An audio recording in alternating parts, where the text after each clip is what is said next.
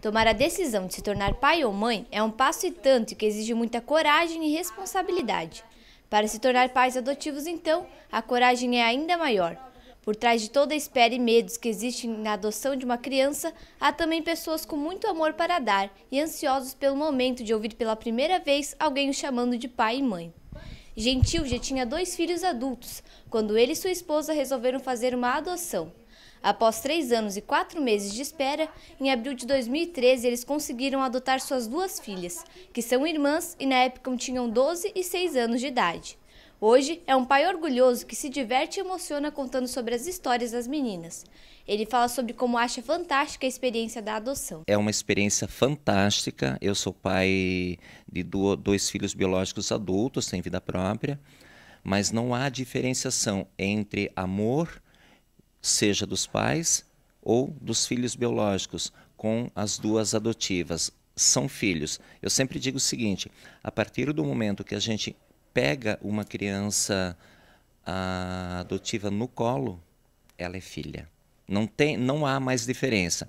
Eu sempre brinco, hoje em casa eu tenho a dupla sertaneja Tayla e Taemin, que são as meninas adotivas.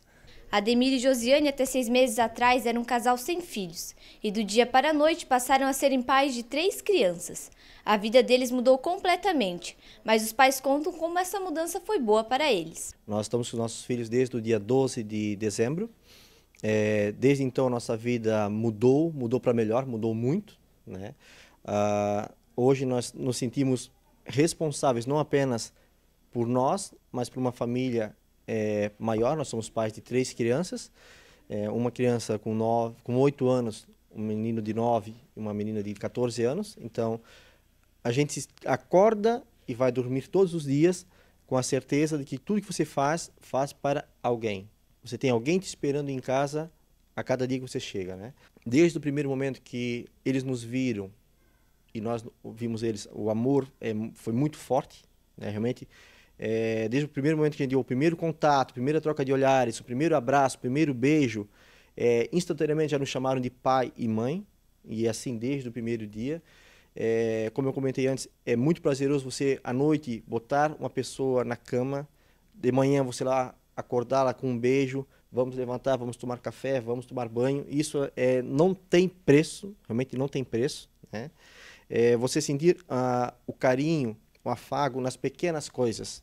Né? Seja, por exemplo, no Dia das Mães, um, um, desenho manuscrito, uma frase manuscrito que cada um fez para minha esposa, é, seja num simples eu te amo, num simples abraço, você vê que é verdadeiro, né? Às vezes numa lágrima de emoção. Então isso para os pais é muito gratificante. E a gente percebe também que para as crianças, nós como pais estamos também sendo bons para eles. Além de ser maravilhoso e tudo, mas é o desafio, é o desafio do dia a dia, da convivência, né? É, as coisas nos mínimos detalhes, assim, que a gente realmente precisa se preocupar, é, que a gente precisa aprender a, conviver, né? Eles a conviverem com, com conosco, né? E a gente também está tá convivendo com eles. Então, é no, nos mínimos detalhes. O processo de adoção pode ser muito demorado, dependendo principalmente do perfil da criança que o casal pretende adotar.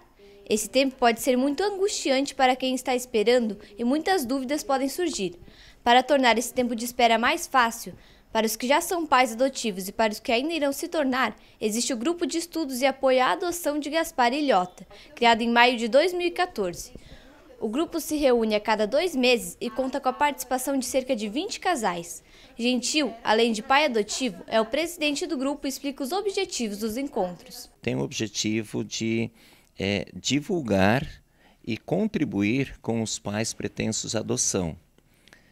É, eu estou participando há pouco tempo, hoje também como presidente do grupo, mas é, é muito bom esse grupo, assim, ele ele tem muita interatividade com os casais, com as pessoas participantes. Gislaine é coordenadora do abrigo institucional Lar Sementes do Amanhã e também é uma das participantes do grupo de apoio à adoção.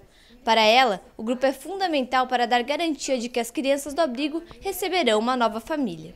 Faz com que é, a gente tenha uma esperança para as nossas crianças aqui do abrigo. Quando a criança ela passa pelo acolhimento institucional, ela, ela vem por uma determinação judicial porque houve uma situação, um problema na família de origem que fez com que ela necessitasse dessa proteção. Se essa família de origem ela não consegue se reorganizar, não consegue superar as dificuldades, as fragilidades que fizeram com que o seu filho viesse para o abrigo, é, não tem outra opção para a vida dessa criança a não ser ganhar uma nova família. Então, quando o grupo de adoção fortalece esses pretensos pais, faz com que nós tenhamos esperança de que as nossas crianças, ao serem destituídas, terão uma possibilidade de uma família. Né? Então, a, o grupo de adoção, sim, vem para contribuir com o nosso trabalho, né? que é fortalecendo esses futuros pais. Ana Paula e Ed ainda estão esperando pela chegada dos filhos adotivos. Há cerca de dois anos, eles entraram com a documentação para o início do processo e agora aguardam a chegada de dois filhos. A futura mãe adotiva conta como o grupo e outras ferramentas de discussão estão ajudando o casal neste tempo de espera. O grupo ajuda muito pela troca de experiência e também é, eu acho que o que ajuda muito, tem muita informação, internet e tal, e que eles é, têm muito debate, sabe? E nesse sentido, assim, de de conversar, eles sempre falam assim, que Deus não nos dá filhos trocados. Então, assim, a hora que vai é, é para ser, eles vão chegar na hora certa, né?